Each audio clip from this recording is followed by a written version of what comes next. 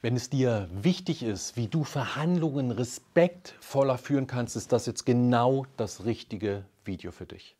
Vielleicht ist dir schon mal aufgefallen, dass in manchen Verhandlungen das Wort Respekt eigentlich vor der Tür warten muss. Das hat im Raum überhaupt nichts verloren. Es gibt keinen Respekt in manchen Verhandlungen. Wenn du jetzt sagst, ah, das ist bei mir oft so, oh, dann finde ich das nicht schön.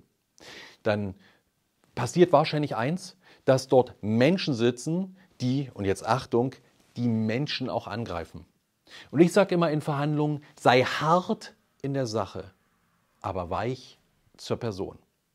Die Person, die gegenüber sitzt, ist völlig in Ordnung, wie sie ist. Wie immer sie ist. Ja? Also die Person gegenüber mag dir komplett gegen den Strich gehen und trotzdem ist sie in Ordnung, wie sie ist. Und das Spannende ist, Dort sitzen die unterschiedlichsten Charaktere. Und ich habe gerade ein Buch gelesen, ich möchte es dir einfach vorstellen, ich finde es so klasse. Das ist dieses Handling Shit von, wer ist der? Dr. Frederik Hümmecke. Also unglaublich, dieses Buch Handling Shit ist einfach klasse und hier die, die Unterüberschrift, die richtige Umgang mit schwierigen Personen und Situationen. Ich kann es dir nur ins Herz legen, ich pack's dir unten drunter, aber du wirst merken, wow, na klar, die Person muss ja so sein. Und deswegen wird es noch wichtiger, hart in der Sache, aber weich zur Person. Die Person ist, wie sie ist. Und wenn ich an meine Geschichte denke, an meine ersten Verhandlungen, denke ich, wow, hättest du das mal alles gewusst, es, es wäre alles anders gekommen. Aber ich war damals auch so, dass ich gegen Personen gearbeitet habe. Und im Nachgang war das alles schädlich. Deswegen meine Bitte an dich, hart in der Sache und weich zur Person. Wenn du jetzt wissen willst, wie es geht, machen wir Beispiele. Stell dir vor, du hast etwas, wo es um, ja sagen wir mal, es geht um Gehalt. Dann kann es sein, dass es heißt, ich hätte gern mehr Gehalt und dein Gesprächspartner, deine Gesprächspartnerin sagt, das ist in der aktuellen Situation nicht möglich. Ja, Sie, Sie sind natürlich wieder gegen mich. Ist mir doch klar, dass Sie genau das wieder rausholen, dass ich ja nicht mehr Gehalt bekomme.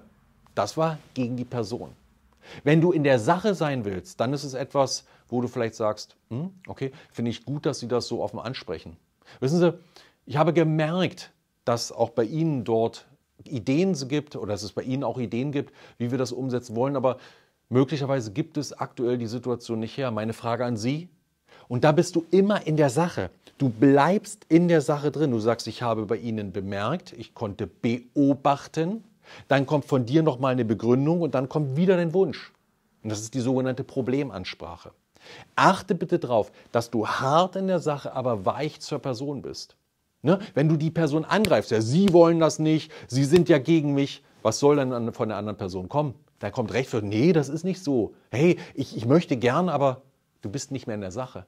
Wenn du aber sagst, okay, ich habe verstanden, dass Sie jetzt an der Stelle etwas wenig Budget haben und Personalkosten schwierig sind, welche Alternative gäbe es denn dann?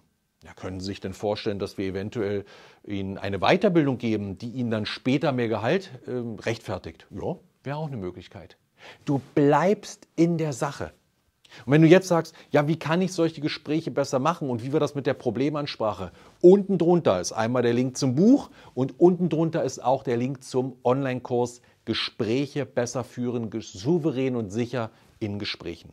Ja, schau mal rein, wunderbare Möglichkeiten, wie du dich in Gesprächen verbessern kannst, damit du in Verhandlungen einfach noch besser, überzeugender und ich sag's ganz brutal, geiler bist. Ja, mein Name ist Martin Rettmer. Du bist hier auf dem Kanal Genial Reden. Ich hoffe, du konntest etwas mitnehmen und wünsche dir jetzt einen wunderbaren Tag. Hab eine gute Zeit. Bis dann.